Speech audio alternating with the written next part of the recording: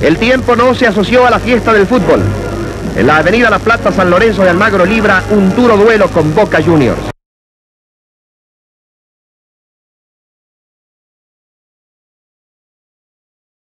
Los locales acumulan mayores ventajas en el campo al dominar a su adversario, pero es Boca el que sale con los dos puntos de la victoria al derrotar a su oponente por 2 a 1.